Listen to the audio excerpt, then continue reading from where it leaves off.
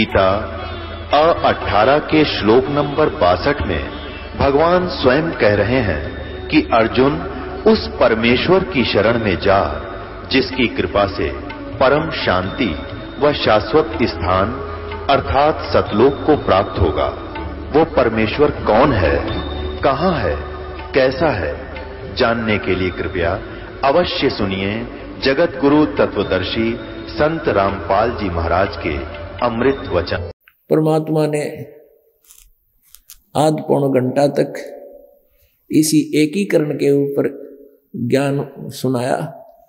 रामानंद की आँखों में आँसू बजाए और खड़े हो गए। सौ सवा सौ वर्ष के व्यक्ति हो रहे थे,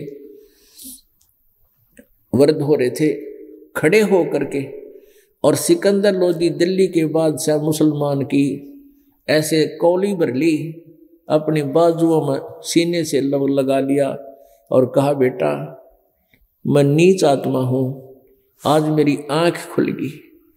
मैं इतना गंदा रह गया था, इतना नीचता थी मेरे में, मुसलमानों से नफरत किया करता था। आज के बाद मेरे हृदय में कोई, किसी प्रकार की भी कोई घृणा, आप जी के धर्म के प्रति, व्यक्तियों के प्रति नहीं है और ना रहेगी।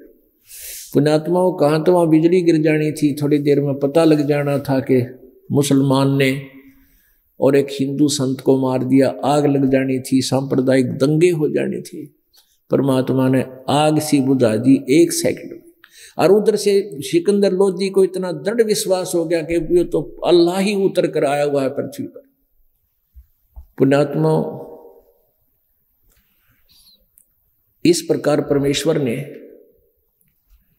अपनी समर्थता का प्रमाण दिया। पुण्यात्माओं, हमने। अब कबीर परमेश्वर जी ने बताया स्वामी रामानंद जी को कि स्वामी जी, आज के बाद आपका जीवन नहीं था। और रामानंद जी इस ज्योतिष पर विश्वास बहुत करते थे। उन्हीं का एक शिष्य ब्राह्मण था, वो बहुत अच्छा ज्योतिषी था। उसको बुलवाया उसने और कहा भी, मेरी रेखाओं में, क्योंकि उसने उनकी जन्म पत्री बना रखी थी। और जन्म पत्री में बता रखा था कि आपकी 120 वर्ष की आयु है। लिख रखा था उसमें 120 वर्ष तो बहुत हो जाते हैं, इसलिए उसमें कोई विशेष चिंता का विषय नहीं था। ये मन में भी नहीं आवत थी मरेगा तो मर जाएगा। 120 वर्ष तो बहुत हो जाते तो तब उसने देखा कि वो 120 वर्ष ही पूरे हो चुके थे। उसने ज्योतिषी ने कहा कि स्वामी जी, आज आपकी, आपका अंतिम सांस थे, अंतिम दिन था। यानी आज के बाद आपका जीवन नहीं था। तब कबीर परमेश्वर जी ने कहा कि स्वामी जी, आपकी इसी प्रकार यही प्रारंभ था, आपका कत्ल ही होना था। सिकंदर लो जी के हाथों आपका ये सब कुछ होना था, हो गया। लेकिन आपकी आयु समाप्त हो जानी थी। और अब मेरी कृपा से आपकी आयु बढ़ गई है। कहते रामानंद जी लगभग डेढ़ सौ वर्ष तक जीवित रहे फिर। परमेश्वर की कृपा से पुण्यात्माओं ये ये ये मिट्टी का पुतला, कोई न सोचा ये, कोई खाने पीने से चल रहा है, ना, ये परमात्मा की कृपा से चल रहा है। उसकी रजा से चल रहा है। ऐसे ऐसे प्रमाण हमने देखे हैं। एक व्यक्ति हमें मिला। उसके साथ एक दो और उसके साथी थे। वो कह रहे थे कि इसने 25 वर्ष हो गए। कुछ नहीं खाया है। पानी पानी ग्रहण करता है। हमने कहा, क्या दूध भी नहीं पीता कर नहीं? तेरा गजब हो और कति स्वस्थ नज़र आ रहा है। वो साठ साल के से भी ऊपर उसकी आयु लगभग होगी। तो कहने का भाव ये है कि ये मिट्टी का पुतला मालिक ने बनाया है और उसी की कृपा से ही चल रहा है। उसी का दिया हुआ अन्न, आहार जो भी हम करते हैं, उसी से सब क्रिया होती है। लेकिन फिर भी पावर परमात्मा की विशेष काम इसके अंदर करती है। पुण्यात्मा हम ध्यान नहीं देते क्योंकि हम परमात्मा के ज्ञान से गढ़े दूर हैं। हम इस शरीर में रोटी, जो कुछ भी खाते हैं, खाना खा लिया, दूध पी लिया, है? और भाई, कच्चे फल खा लिए, हम तो इसमें डाल कर निश्चिंत हो जाते हैं। तो अंदर ये क्या करता है? इसके अंदर क्या कुछ हो रहा है? क्या ये आंत कर रही है? क्या ये मिट्टी का पुतला कर रहा है? ये मालिक की पावर कर रही है सारा कुछ काम। परमात्मा की वो शक्ति काम कर रही है। इस पूरे खाए हुए अन्न को ये दोबारा से इतनी हीट देता है और उसको फिर से पचाता है, नए सिरे से उसको मसलता है, उसमें से अलग अलग अंश करता है। बता एक फैक्ट्री ला के देख लो तो ये सारे आइटम करके दिखा दे तो एक भी नहीं कर सकती। तो हमने परमात्मा को महत्व ज़्यादा देना चाहिए। उद्देश्य हमारा ये था। तो 150 साल तक लगभग वो रामानंद जी जीवित रहे। तो हमने भगवान श्री कृष्ण जी को परमात्मा इसलिए माना था कि उन्होंने राजा मोर ध्वज के पुत्र तामर ध्वज को आरे से दो फाड़ करवा के, आरे से चलवा दिया। एक क्रौत होता आरी। उसे बड्डा होता दोनों तरफ़ उसके हैंडल होते हैं, चलाने के उनको आरा बोलते हैं। वो मर गए थे। दो भाग हो गए थे और श्री कृष्ण जी ने जीवित कर दिया था। हमने इसलिए श्री कृष्ण जी को परमात्मा की संज्ञा में रख लिया कि इन्होंने ऐसी अनहोनी की थी। लेकिन परमात्मा कबीर जी बताया करते थे कि तुम भूल गए हो, श्री कृष्ण जी के सगे भांजे अभिमन्यु, चक्र व्यहू में प्रथम दिन ही मारा गया था। और उसको श्री कृष्ण जीवित नहीं कर सके। सुभद्रा रो रही थी, पाँचों पांडवों का बुरा हाल था, वंश नष्ट हो रहा था। और श्री कृष्ण जी जीवित नहीं कर सके, श्री कृष्ण भी अपनी बहन के दुख में रो रहा था, भांजे के मृत्यु के दुख में। कारण क्या था कि उधर से मोर ध्वज के पुत्र ताम्र ध्वज की आयु शेष थी। उसको काट के दोबारा जोड़ देना इन भगवानों की पावर में है। लेकिन आयु नहीं बढ़ा सकते। प्रारब्ध में परिवर्तन नहीं कर सकते, प्रारब्ध में दुख है तो दुख ही रहेगा। श्री कृष्ण यानी विष्णु जी नहीं कर सकते उसको स्वस्थ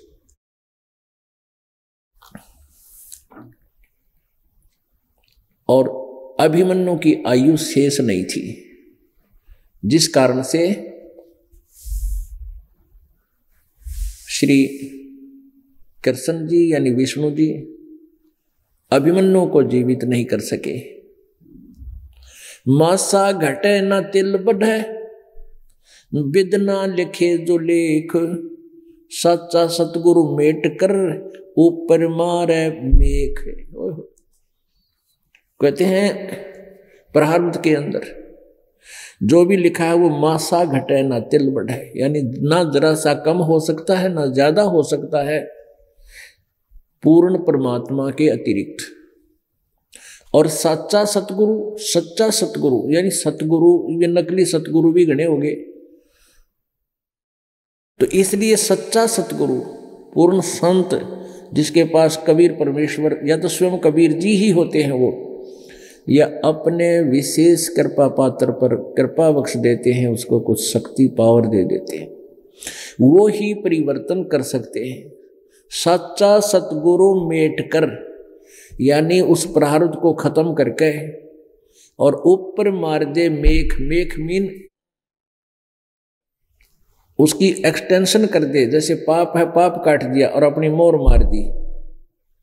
अगर भाई, हमने बढ़ा दिया कोई छेड़ नहीं सकता इसको। हमने इसको खत्म कर दिया प्रारब्ध को, इसके नाश कर दिया पाप को, कोई इसमें मीन मेख नहीं, कोई चुप, कोई नहीं बोलेगा। यानी फाइनल अथॉरिटी के साइन हो जाते हैं। तो उस ऐसे कहते मासा घटे ना तिल बढ़े जो प्रारब्ध के लिखे हुए लेख में, और कहते हैं, सच्चा सतगुरु मेट कर ऊपर मार दे मेघ। वो फॉर एवर उसको सदा के लिए सुख प्रदान कर देता है, दुख निवारण कर देता है एक्सटेंशन कर देता है, आयु भी बढ़ा देता है। अपने आत्मा, यही प्रमाण आपको दिखाते हैं कि हमारे सदग्रंथ भी यही बताते हैं कि परम संत से मंत्र लेकर के साधना करने से वो पूर्ण परमात्मा जीव की आयु भी बढ़ा देता है। देखिएगा। यह है ऋग्वेद द्वितीय भाग भाषा भाष्य अनुवाद किया हुआ इसको भाषा भाष्य बोलते हैं।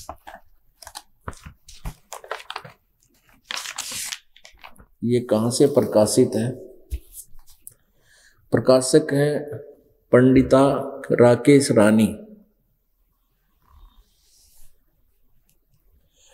प्रधान कार्यालय, वेद मंदिर, महात्मा वेद भिक्षु सेवा आश्रम, लेखराम नगर अब्राहम अब्राहिमपुर, मुखमेल, मुखमेलपुर, दिल्ली। ये इनका दूरभाष है। दान संस्थान नई दिल्ली से का प्रकाशन है। इसमें ऋग्वेद के मंडल नंबर दस के मंडल नंबर दस, सूक्त नंबर एक सौ इकसठ और मंत्र नंबर दो में आपको दिखाते हैं। ऋग्वेद मंडल नंबर दस, सूक्त नंबर वन सिक्सटी वन एक सौ इकसठ। और यहाँ देखिएगा, मंत्र नंबर दो। यदि किसी रोगी की जीवन शक्ति समाप्त हो, यदि वह सीमा से भी परे हो गया है यदि वह मृत्यु के सनिकट चला गया है तो भी उसे मैं भारी कष्ट पद पर्द रोग से, के पंजे से मुक्त कराऊं, तथा उसे सौ वर्ष, सत वर्ष, माने सौ वर्ष के जीवन हेतु बल संपन्न करूँ। यदि रोगी की जीवन शक्ति समाप्त हो रही है और उसका रोग सीमा को पार कर गया है, तब भी परमात्मा उसे इस कष्ट पर रोग से मुक्त कर सत यानी सौ वर्ष का जीवन दे सकता है। फिर आगे देखिएगा। मंत्र नंबर पाँच में ये मंत्र नंबर पाँच है। इसका यहाँ अनुवाद है।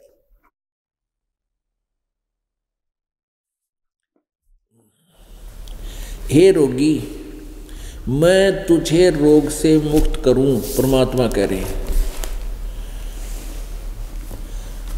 और तुझे मैं पाऊँ, यानी तेरा दुख भी दूर करूँ, और तुझे प्राप्त होऊं, यानी मुक्त करूँ। तू पुनः आ, यानी समर्पित हो। अब जिसको परमात्मा ने रजा बख्श दी, दुख दूर कर दिया, कहती, तू समर्पित हो। लल्लो पत्तो मत कर।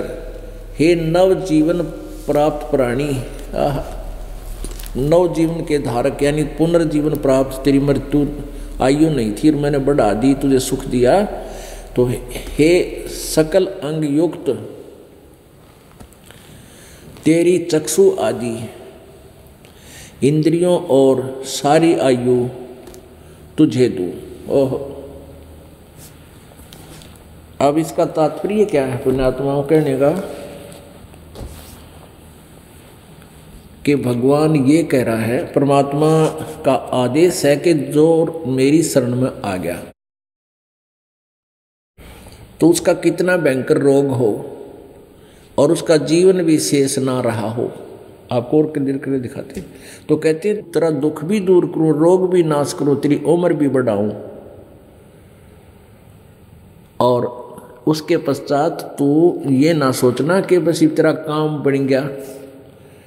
अपुणात्माओं आप जी तो बच्चे स्मारक के दास स्मारक का डॉक्टर है, मास्टर है। आप जी के ऊपर बहुत सी आपदाएँ आती हैं, परमात्मा टाल देता है। आप उनको स्वाभाविक मान लेते हो। और आप ये सोचना चाहिए कि ये आपत्ति आपकी टली है परमात्मा कबीर जी की दया से आपकी जान जानी थी। अब जान जाने के बाद एक्सटेंशन कर दी परमात्मा ने आपकी सच्ची श्रद्धा लगन देख कर आपकी आयु बढ़ा दी अब कहते हैं, इस आगे चल के आपकी और भी अंग भंग भी हो सकते हैं। यदि तू सच्चे दिल से लगा रहेगा, मेरी शरण में रहेगा तो और भी तेरे किसी भी अंग में कोई रोग होगा या कोई हानि होनी होगी, उससे भी तेरी रक्षा करूँगा। अब यहाँ दिखाते हैं आपको एक और संत के द्वारा, अनुवाद है ऋषि के द्वारा। इसने और अच्छे ढंग से किया है। ये सात से लेकर दस मंडल जो है, ये श्रीपाद दामोदर सातवें लेकर, सातवें सातव लेकर ने किया है। और ये कहाँ से प्रकाशित है ऋग्वेद भाष्यम। महर्षि दानंद सरस्वती, संपादक दानंद अर्पण, विश्व मानव उत्थान परिषद पंजीकरण कृत, छियालीस बटा पाँच सामुदायिक सामुदायिक केंद्र, पूर्वी कैलाश नई दिल्ली से। इसका ये छपा प्रकाशित हुआ है और मुद्रित कहाँ से है? यो है कंपू डाटा सर्विसेज़, नई दिल्ली, दूरभाष इतने इतने, ये यहाँ से छपा है। अब इसको दिखाते हैं आपको। ऋग्वेद भाष्यम पंद्रह सौ, चौदह सौ नौ पृष्ठ, ये एक सौ इकसठ सूक्त है। दसवें मंडल का दसम मंडल, दसवा मंडल और ये एक सौ इकसठ सूक्त है। इसका मंत्र नंबर दो पदार्थ भाषार्थ। यदि रोगी की अक्षीण आयु हो गई हो, यदि वह इस लोक से चला गया है, यानी उसकी मृत्यु होगी और वो शरीर छोड़कर चला गया, जैसे रामानंद का जीव चला गया था और यदि वह मृत्यु के पास गया हुआ है तो भी तो भी उसको मैं मृत्यु देवता नृत्य के पास से लौटा ला सकता हूँ।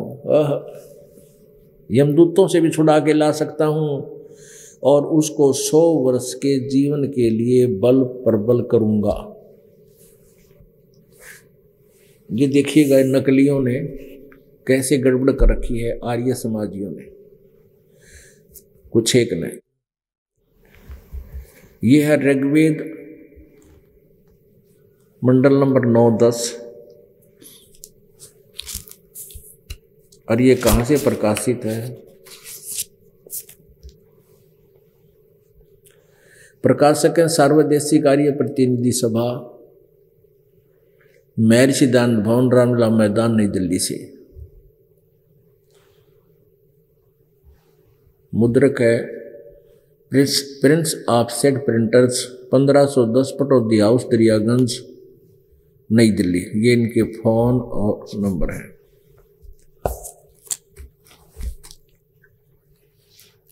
इन्होंने अर्थों का अनर्थ कर डाला।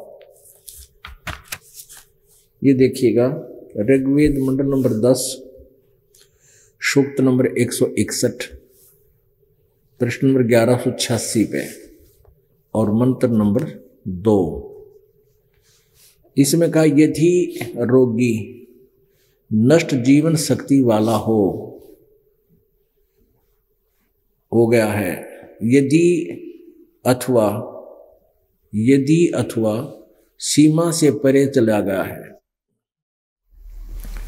यदि मृत्यु के समीप पहुँच गया है, पहुँच गया ही है तो भी उस रोगी को मैं वैद अच्छा वेद ये कौन सी औषधि, दवाइयों की किताब है?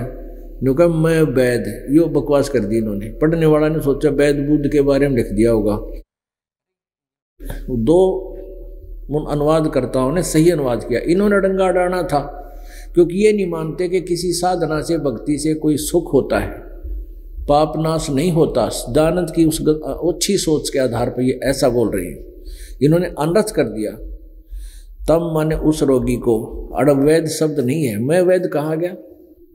रोगी को, इन मैं वैद नहीं लिख। मैं भगवान लिखना चाहिए था। कष्ट पद रोग के पंजे से छुड़ा लाता हूँ। सौ शरद वस्तु ऋतुओं तक जीने के लिए इसको बल युक्त करता हूँ। यहाँ इन्होंने नो नाश कर रखा है अड़ंगे अड़ा रखे बीच में। ये दानंद जो था, ये भट्ठा बठाने के लिए काल ने भेजा था सदग्रंथों का नाश करने के लिए। इनका गलत अनुवाद करके, गलत प्रचार करने के लिए और जनता को भ्रमित करने के लिए। अब इस दास के सामने ये बाधक बने हुए ये नकली ऋषि, मह ऋषि, गुरु जो गलत ज्ञान प्रचार किया करते थे। और जनता उनको महर्षि मानकर उनकी प्रत्येक टिप्पणी पर विश्वास किया करती थी। और पुण्यात्मा कबीर परमेश्वर जी इस प्रकार अपनी प्यारी आत्माओं को सुख दिया करते थे। जैसे अभी आपको सिकंदर लोधी का दुख दूर किया, उनके सामने रामानंद जी की हत्या कर दी थी सिकंदर लोधी राज बादशाह ने। वो जीवित किया। उसके बाद भी और बहुत से, जैसे एक अब वापस आए, जब कबीर जी को साथ लेकर चल पड़े हाथ पैर जोड़ के, सिकंदर लोधी ने सोचा था, ये स्वयं अल्लाह उतरे हुए हैं। और मुसलमान धर्म यदि अल्लाह ना मानेगा, क्योंकि वो निराकार मानते हैं अल्लाह को और अल्लाह आकार में कभी नहीं आता। अपने पैगंबर भेजता है। तो पैगंबर तो मानने लेंगे इनको। और इनके उपदेश में इतनी शक्ति है। हिंदू और मुसलमान का आपसी झगड़ा बंद हो जाएगा। अब तो सिकंदर लोधी ने कहा, पर परदिगार आप मेरे साथ दिल्ली चलो। मैं आपकी सेवा करना चाहता हूँ। आपने मेरे ऊपर बहुत उपकार किया है। परमात्मा ने कहा, सिकंदर, बात सुन। मैं उसी के घर जाता हूँ जो मेरा शिष्य बन जाता है। यदि आप मेरा शिष्य बनना स्वीकार करो तो मैं फिर सोचूं। सिकंदर लोधी ने कहा, जी, मैं आपका दास, आपके चरणों की धूल, आपका दिया हुआ जीवन है।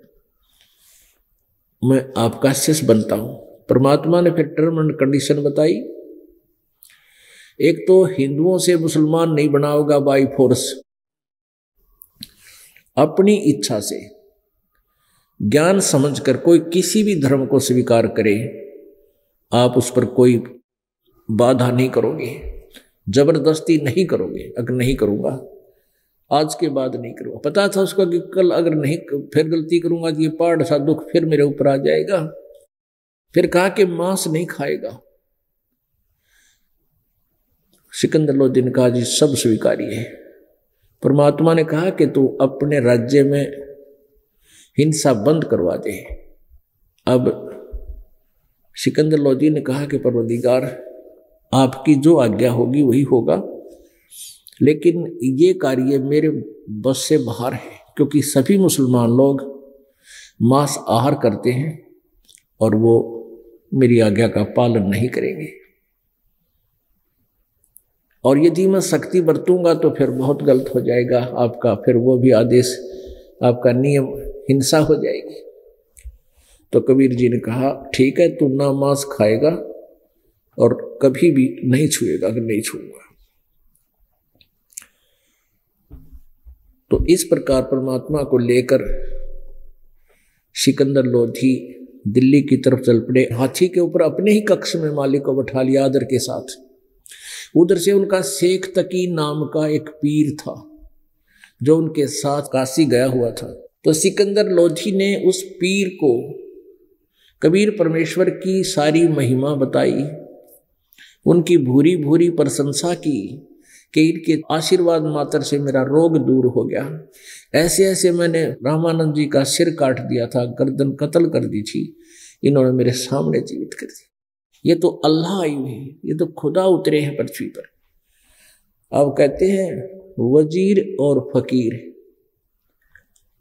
ये एक दूसरे की प्रशंसा सुन नहीं सकते। एकदम उसके तो करंट सा लग गया और मन में बहुत दुखी हो गया कि राजा तो अब इसकी प्रशंसा करता दूसरे संत की, ये तो इसका। अब इसी के गुण गाएगा, तेरी महिमा कम हो जाएगी। अब कबीर जी को नीचा दिखाने के लिए उसने बहुत सी अटकलें लगाई। रस्ते में जब वापस आ रहे थे दिल्ली को रास्ते में एक दरिया के ऊपर पड़ाव कर लिया, पानी का व्यवस्था देखकर। तो सिकंदर लोधी से शेख तकी बोलिया नहीं, उनका गुरु जी सिकंदर लोधी समझ गया कि ये कोई न कोई, इसके मन में दोष आ गया। पूछने से पता चला कि वो उस कबीर जी से दुखी है और कहा है कि तू अब कबीर को अपना गुरु मानता है, इसको अल्लाह कह रहा है, मेरी क्या आवश्यकता है तुझे?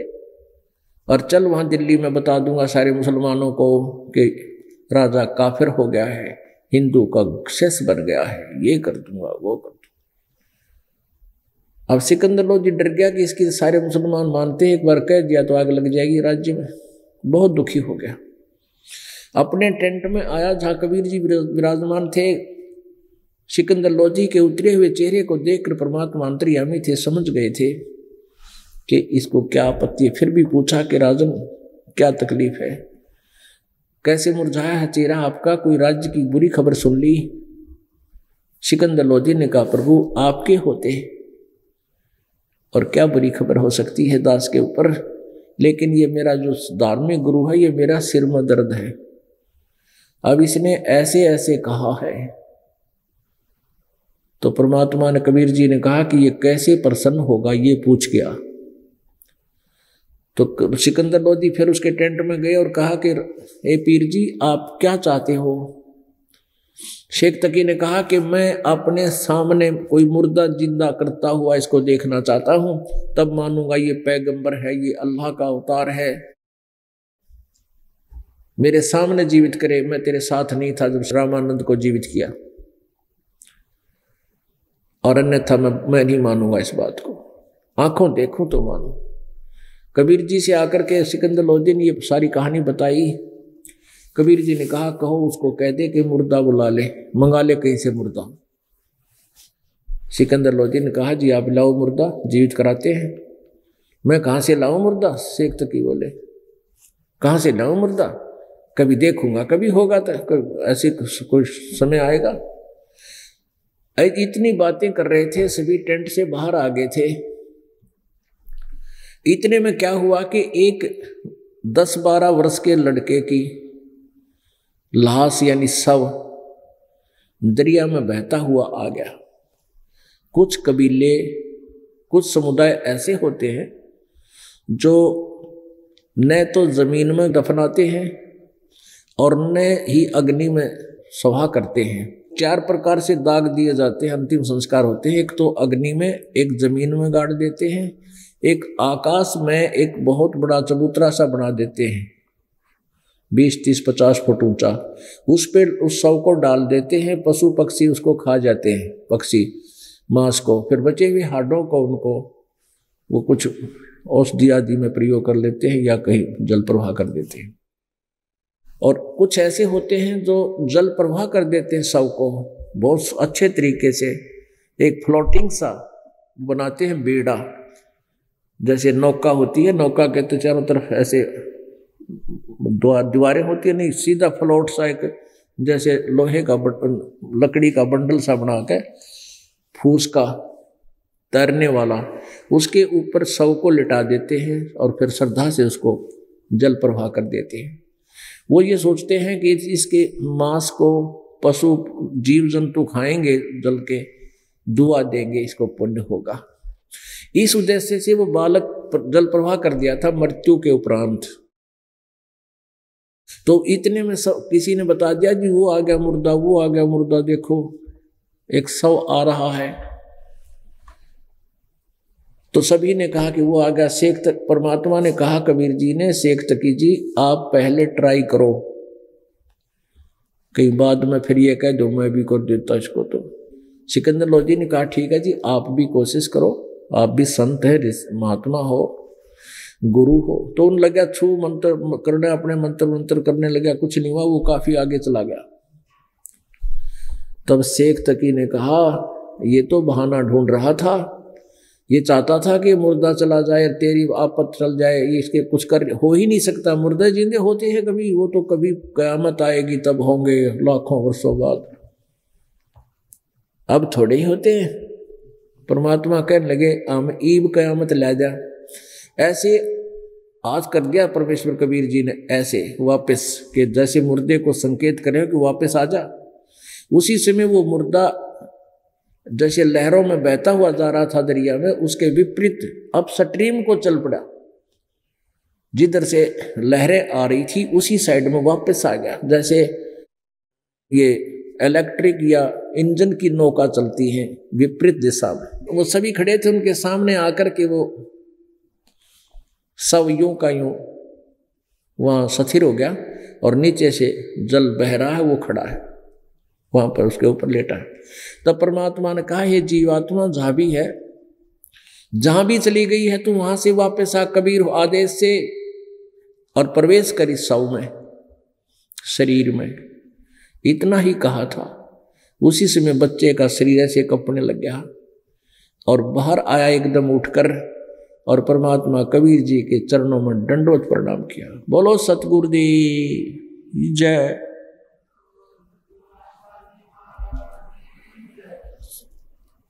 इस प्रकार परमात्मा की लीला को देखकर सैकड़ों की संख्या में सैनिकों ने उपदेश लिया। और भी आसपास के लोग इकट्ठे हो गए थे, वहाँ ये देख रहे थे, उन्होंने उपदेश लिया। यानी परमेश्वर की इस तरह की लीलाओं को देखकर और अपने दुखों का निवारण होने के कारण परमात्मा कबीर जी के लाखों शिष्य हो गए थे। अपने आत्माओं, ये जो महिमा थी कबीर परमेश्वर की लीलाएँ, ये इन नकली पंडितों, गुरुओं ऋषि महर्षि महंतों ने ऊपर नहीं आने दी। श्री कृष्ण भगवान की, श्री राम जी की लीलाओं का डंडोरा पीट दिया। सब जगह रह रह कर उनका, जो है ना, महिमा का गुणगान कर दिया। और पूर्ण परमात्मा की लीला जो सभी सदग्रंथों से मेल खाती है, उसको दबा दिया। यही कारण रहा कि हम भक्ति करते हुए भी अपनी मानव जीवन के जो लक्ष्य को पूरा नहीं कर सके। यही जन्मते मरते रहे, भूत प्रेत बन गए, फिर इन्हीं नकली, गुरुओं ने श्राद्ध निकलवाने शुरू कर दिए, पिंड भरवाने शुरू कर दिए, न जाने कितनी क्रिया और थोप दी हमारे ऊपर। यदि उन क्रियाओं से कुछ लाभ हो तो भी कोई दिक्कत को नहीं, हम वो करने को तैयार हैं, लेकिन उनसे कोई राहत मिल ही नहीं रही। पुणात्मा इस प्रकार परमात्मा कबीर जी के चौसठ लाख शिष्य हो गए थे कबीर जी के, चौसठ लाख। अब परमात्मा ने देखा कि ये जितने भी आज शिष्य मेरे बने हैं, इनमें मैं जो ज्ञान देता हूँ, इस ज्ञान का भी कुछ आधार है, या मेरे द्वारा प्राप्त इन सुखों से, रोग नष्ट होने से ही मेरे चिपके हुए हैं, या मुझे ये कुछ महत्व भी देते हैं, मुझसे परिचित हुए हैं या नहीं, कि आई एम गॉड अब ये इस बात से परिचित है कि नहीं कि मैं भगवान हूँ, क्योंकि वो परमात्मा थे, कबीर भगवान। और जब तक हम अपने परमेश्वर को परमेश्वर नहीं मानेंगे तो तब तक हम उस, उसके, उनके पास नहीं जा सकते। उस समय क्या समस्या थी? कबीर परमेश्वर जी जो ज्ञान दिया करते थे, परमेश्वर कबीर जी के शिष्य जगह जगह जाकर उसका प्रचार भी करते थे और अपने हुए सुखों का भी वर्णन अन्य के पास करते थे। तो दूसरे जो गुरु थे, वो चापलूस और चतुर थे। वो कहते थे कि हम संस्कृत भाषा जानते हैं। और आप जी के गुरु कबीर जी संस्कृत भाषा नहीं जानते हैं। तो वेदों और गीता और पुराणों के बारे में वो कैसे बोलते हैं? वो कैसे कहते ब्रह्मा, विष्णु, महेश, नासवान है? क्या आधार है उनके पास? वो झूठ बोल रहे हैं। वो भगवान नहीं है। वो संत नहीं है। वो तो ऐसे उठ पटांग बकवास करने वाले पाखंडी लबाड़ हैं। झूठ बोलते हैं। अपनात्मा जो परमात्मा 600 साल पहले बताया करते थे और हम विश्वास नहीं कर सके और वो झूठे गुरु, ब्राह्मण, ऋषि, महर्षि, महंत कहा करते थे, कबीर जी झूठ बोलते हैं, पुराणों को नहीं जानते हैं उसमें ब्रह्मा विष्णु महेश को वो नासवान बताते हैं, उनके माता पिता बताते हैं, ये झूठ है। आज उन्हीं पुराणों में परमात्मा की वाणी वचन सिद्ध हो रहे हैं। देखिएगा श्रीमद देवी भागवत। श्रीमद देवी भागवत अर्थात देवी पुराण। सचित्र मोटा टाइप केवल हिंदी। गीता प्रेस, गोरखपुर। से प्रकाशित है और इसके कौन संपादक हैं?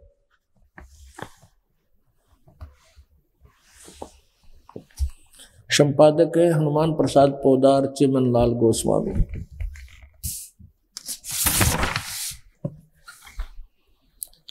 प्रकाशक एवं मुद्रक।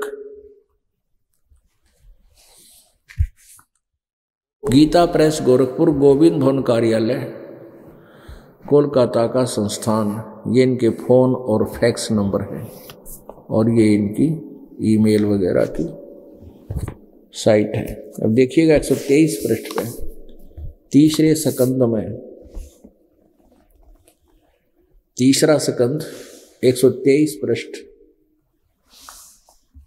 इस पाँच सात लाइनों में कितने कंसेप्ट क्लियर हो जाएँगे? भगवान विष्णु अपनी माता दुर्गा की महिमा कर रहे हैं। तुम शुद्ध स्वरूपा हो यह सारा संसार तुम्ही से उद्भाषित हो रहा है। मैं, ब्रह्मा और शंकर, हम सभी तुम्हारी कृपा से विद्यमान हैं। हमारा तो आविर्भाव मन जन्म, तिरोभाव मन मृत्यु हुआ करता है। हमारा तो जन्म और मृत्यु होता है। हमारा तो आविर्भाव अर्थात जन्म त्रोभाव अर्थात मृत्यु हुआ करता है। अर्थात हम अविनाशी नहीं हैं। विष्णु जी कह रहे हैं, हम ब्रह्मा, विष्णु और शंकर अविनाशी नहीं हैं। हमारा तो जन्म मृत्यु होता केवल तुम ही नित्य हो जगत जननी हो, प्रकृति और सनातनी देवी हो। भगवान शंकर बोले, देवी, यदि महाभाग विष्णु तुम्ही से प्रकट हुए हैं तो उनके बाद उत्पन्न होने वाले ब्रह्मा भी तुम्हारे ही बालक हुए। फिर मैं तमोगुणी लीला करने वाला शंकर क्या तुम्हारी संतान नहीं हुआ? अर्थात मुझे भी उत्पन्न करने वाली तुम हो, तुम ही हो। शिवे संपूर्ण संसार की सृष्टि करने में तुम बड़ी चतुर हो। इस संसार की सृष्टि सतिथि और संहार में तुम्हारे गुण सदा समृत है। उन्हीं तीनों गुणों से उत्पन्न हम ब्रह्मा, विष्णु एवं शंकर नियमानुसार कार्य में तत्पर रहते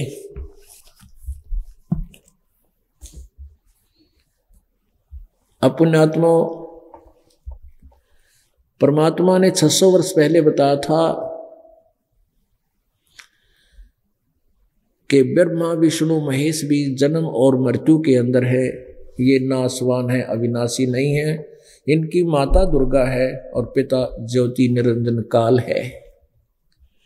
लेकिन उस समय इन अज्ञानी ऋषि, महर्षि और गुरु ब्राह्मणों ने परमेश्वर कबीर जी के ज्ञान को ये कह करके जनता के हृदय में नहीं आने दिया, विश्वास नहीं होने दिया कि कबीर जी अशिक्षित हैं। उनको विद्या नहीं है, वो संस्कृत भाषा नहीं जानते हैं, इसलिए ये वेदों और पुराणों और गीता जी को नहीं समझ पाती, ये झूठ बोल रहे हैं। अब जैसे कल आपको बताया था, निरंजन धन तेरा दरबार, जहाँ तनिक न्याय विचार कहते हैं, पाखंडी की पूजा जग में संत ने कह, लबाड़ परमात्मा उस समय दुख भरे शब्द कहा करते थे, ये मुझे तो अज्ञानी बताओ, लबाड़ के मुँह में हुआ है, बकवाद कर रहा हो। कबीर जी को कहा करते ये तो लबाड़ है, यानी जो मुख में आवे वाही बोल देता है। ब्रह्मा विष्णु महेश के बारे में ऐसा ऐसा कहता, ये तो लबाड़ है, इसको ज्ञान नहीं, अज्ञानी है। पाखंडी की पूजा जग में संत ने कहे, लबाड़, और अज्ञानी को परम विवेकी। और ज्ञानी को मूड गंवार। कबीर सिंह कहते थे, मुझे तो ये मूड गंवार कह रहे हैं। आम जनता भी और हमारे भगत उसके परमात्मा के अनुयायी भी इस बात को मान लेते थे कहा भी ऐसा तो है। कबीर जी अशिक्षित है। ये वेदों और गीता और पुराणों के बारे में तो गलत ही कह रहे हैं। ये समझ ही नहीं सकते तो कैसे कह रहे हैं? यानी परमात्मा के शिष्य भी ऐसे बोलने लगे। तो पुण्यात्मा परमेश्वर कबीर जी ने रह रह कर ऐसे बहुत से प्रमाण दिए, इसमें चार कंसेप्ट क्लियर हो गए। एक तो ब्रह्मा, विष्णु, महेश, नासवान है, अविनाशी नहीं है। दूसरा ये हो गया कि दुर्गा इनकी माता है, ये उसके पुत्र हैं। कौन? ब्रह्मा, विष्णु और शंकर जी। और तीसरा ये हो गया कि रजगुण ब्रह्मा है, सतगुण विष्णु, तमगुण शिव जी। और चौथा ये हो गया कि ये केवल नियमानुसार कार्य ही करते हैं, जो इनको ऑर्डर दिया जाता है, यानी जो नियमित कर रखे हैं, जिसके प्रारंभ संस्कार उसी को ये भुगवाते हैं, उसमें परिवर्तन नहीं कर सकते।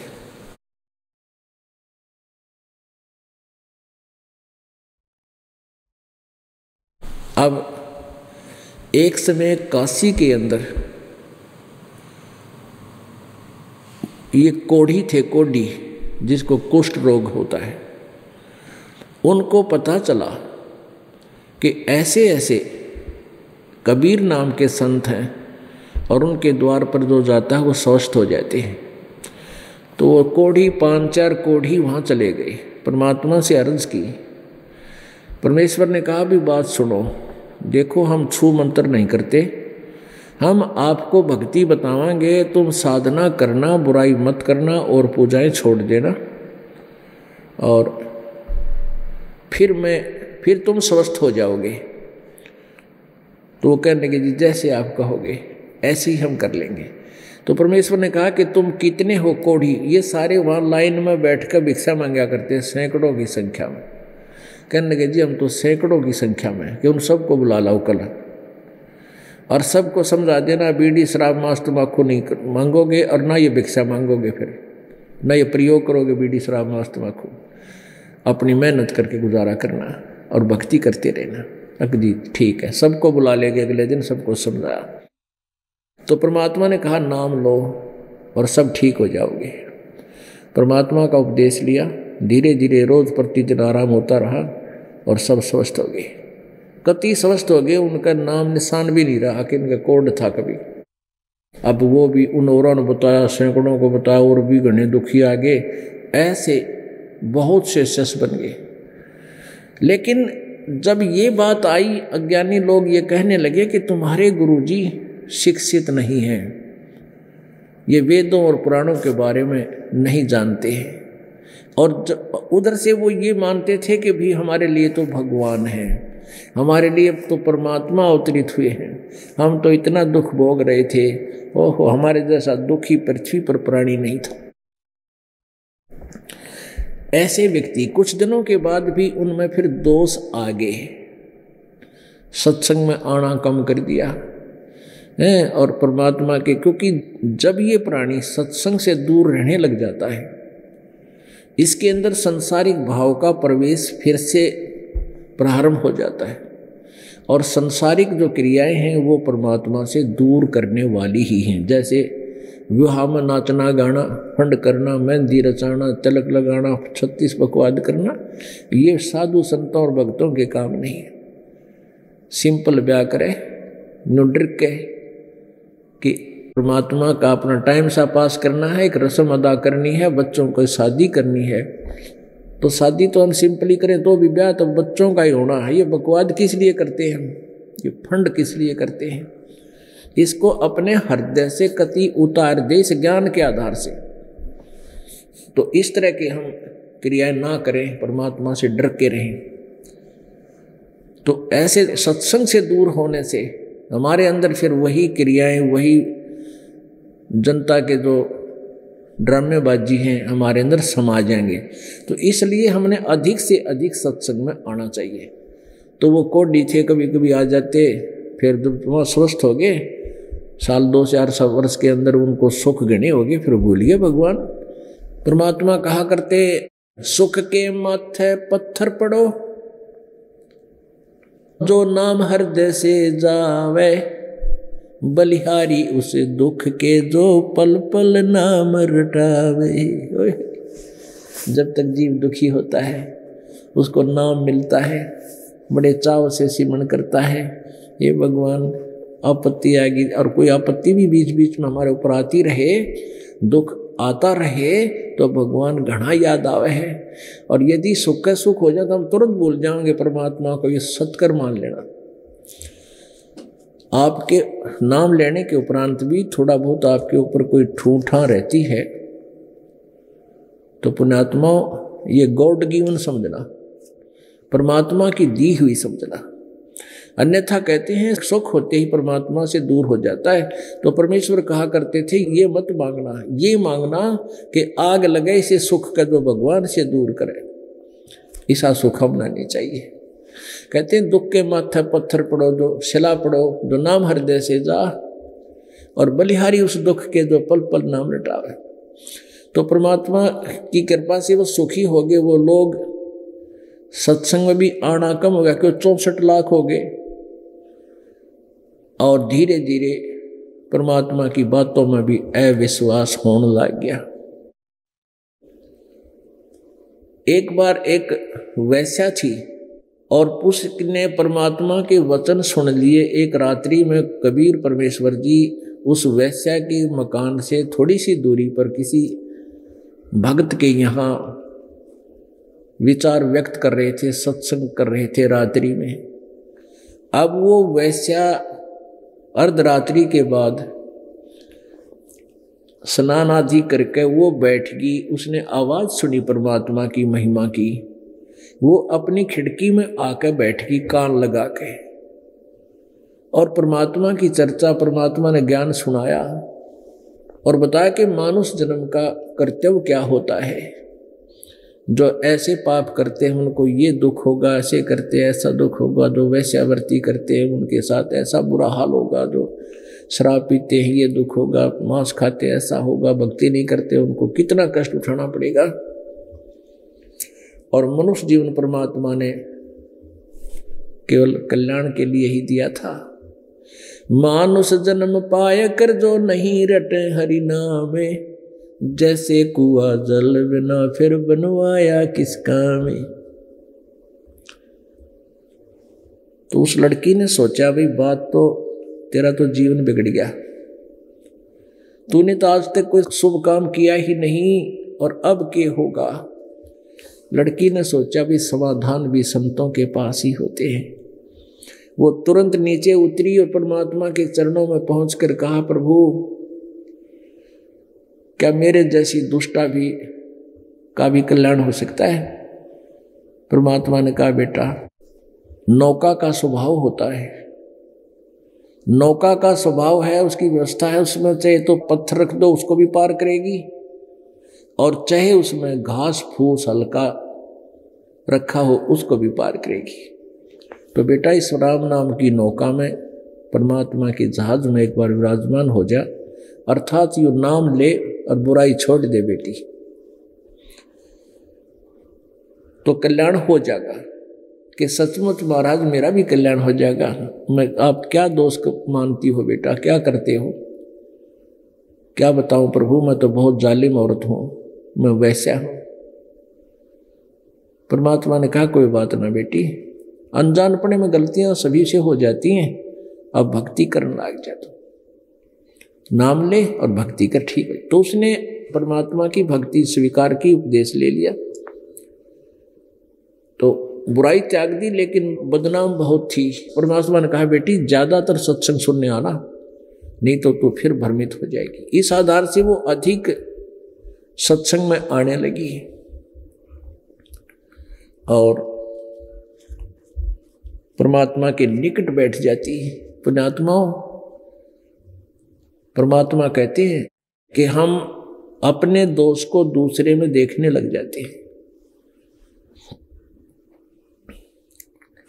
अपनी वाणी में कबीर परमेश्वर जी ने कहा है कुष्टि हो वह संत बंदगी कीजिए हो वैश्या कै विश्वास चरण चित दीजिए। कि जैसे पहले वो कोड्डी आया करते थे तो आम भक्त उनसे नफरत करते थे नो करके दूर बैठ जाते थे। हाँ छो तो परमात्मा उन्हें कहा करते, भाई, ना मेरा तो किसका हो जाए और ये यहाँ नहीं आएँगे, ज्ञान नहीं सुनेंगे, इनका मन कैसे रुकेगा?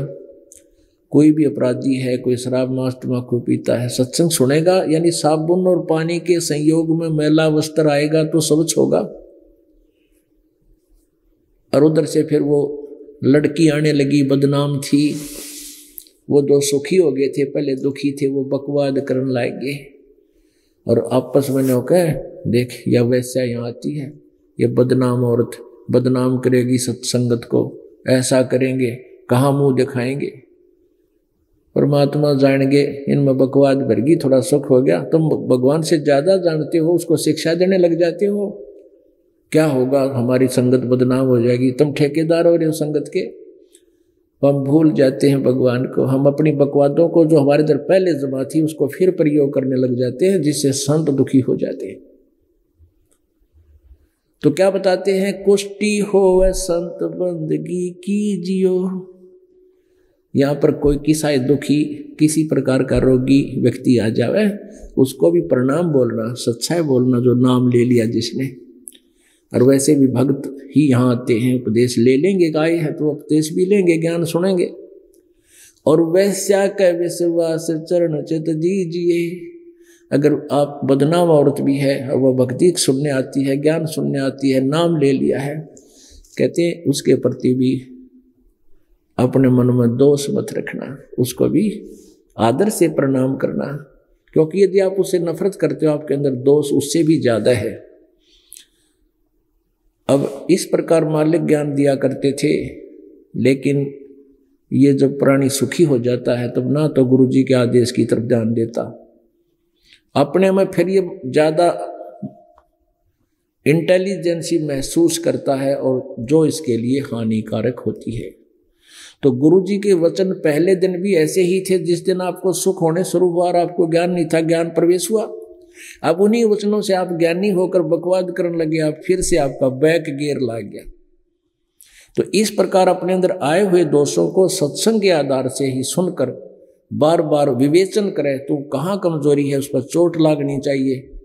ताकि आपका जीवन सफल हो सके। शेष कथा श्याम को सुनाएँगे। बोलो, सतगुरुदेव। आज सुबह के सत्संग में आप जी को सुनाया था कि जब ये प्राणी महादुखी होता है तो परमात्मा की तलाश करता है। और जब ये सुखी हो जाता है तो ये भगवान को भूलना प्रारंभ कर देता है। परमात्मा के चौसठ लाख से हुए थे, वो ज्ञान से नहीं बने थे। लगभग साढ़े पाँच सौ वर्ष पहले, सन तेरह सौ अठानवे से सन पंद्रह सौ अठारह तक परमात्मा एक सौ बीस वर्ष कबीर भगवान जी, एक सौ बीस वर्ष एक मनुष्य दृश्य लीला करते हुए यहाँ रहे। और इस तत्व ज्ञान का प्रचार किया करते थे, अपनी पुण्यात्माओं को सुखी किया करते थे। क्योंकि वो हमारे भगवान हैं, हमारे पिता हैं, और अपने का दुख अपने को ही होता है। इसलिए वो आते हैं, हमें कुछ ऐसी क्रिया करा जाते हैं, जिससे कुछ जन्म हमारे मनुष्य के बन जाते हैं।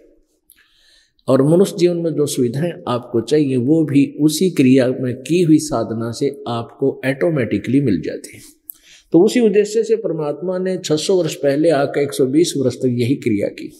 और जो महादुखी प्राणी थे, उनको आशीर्वाद से फिर नाम दे करके भक्ति करवा करके उनको सुखी किया। फिर भूलना शुरू कर दिया। और सबसे बड़ी वहाँ उस समय जो कमज़ोरी हमारे साथ रही तीनों युगों में, और इस कलयुग के प्रथम चरण में है क्योंकि हम अशिक्षित थे, और अब शिक्षा परमात्मा ने ही ये आपके पास पहुंचाई है, और ये इसका नाम कलयुग भी प्रभु ने रखवाया है। नहीं तो सतयुग त्रेता द्वापर में केवल एक ब्राह्मण वर्ग शिक्षा ग्रहण करते थे, बाकी उनके द्वारा दिए गए मार्गदर्शन से अपनी क्रियाएँ करते रहे। अब हमने देखा कि जो क्रिया हमने करनी चाहिए, उसके तो आसपास भी इन्होंने हमें नहीं छोड़ा है। तो अब हम परमात्मा ने ये कृपा की कबीर जी ने कि आप जी को शिक्षित किया, ताकि आप सदग्रंथों में परमात्मा को पहचान सके। और ऐसा ही अब हो रहा है। मुनात्मा जब तक ये आत्मा परमात्मा के इस सच्चे ज्ञान से संबंधित नहीं होती, तब तक ये अपनी भूल भुलैया में, अपने ही दैनिक क्रिया में उलझ पुलझ रहती है। और जो भी जो कर्म कर रहा है, उसको अच्छा ही मानकर कर रहा होता है, चाहे कसाई बकरे काटता है कोई मांस खाता है, कोई हुक्का पीता है, कोई शराब पीता है, कोई दुराचार करता है, अपनी क्रियाओं को सत्य मानकर ही करता है। ऐसे ही जैसे आज आपने सुबह सुना कि एक वैश्या गणिका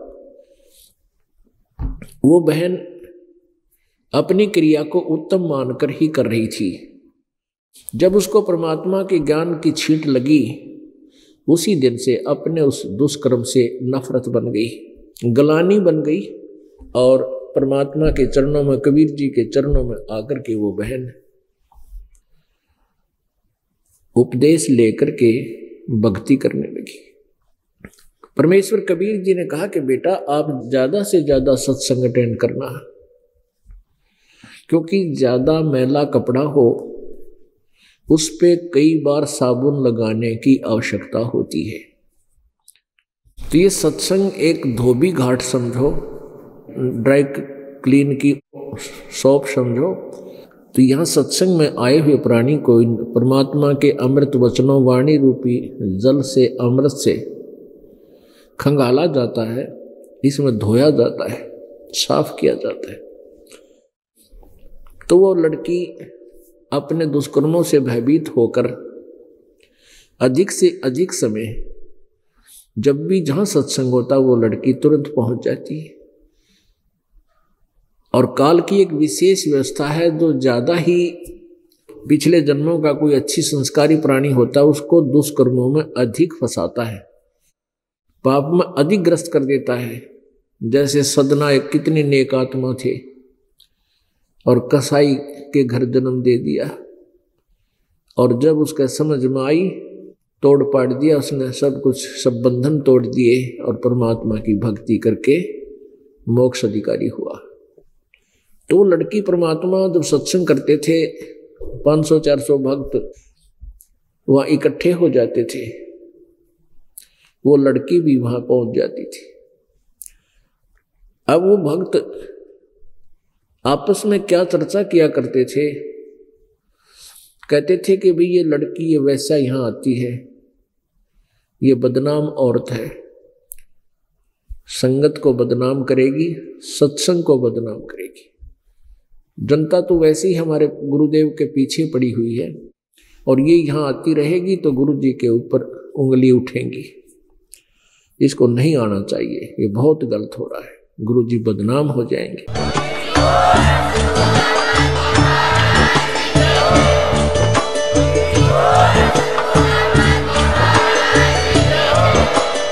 आप सुन रहे थे जगत गुरु तत्वदर्शी संत रामपाल जी महाराज जी के मंगल प्रवचन। अधिक जानकारी के लिए विज़िट कीजिए हमारी वेबसाइट www.jagatgururampalji.org संत रामपाल जी महाराज जी के शुभ आशीर्वाद से पूरे विश्व भर में 500 से भी ज़्यादा नाम दीक्षा केंद्र हैं, जिन पर संत रामपाल जी महाराज जी द्वारा ऑनलाइन निशुल्क नाम दीक्षा दी जा रही है। अपने नजदीकी नाम दीक्षा केंद्र का पता करने के लिए संपर्क करें। Eight two two to 880541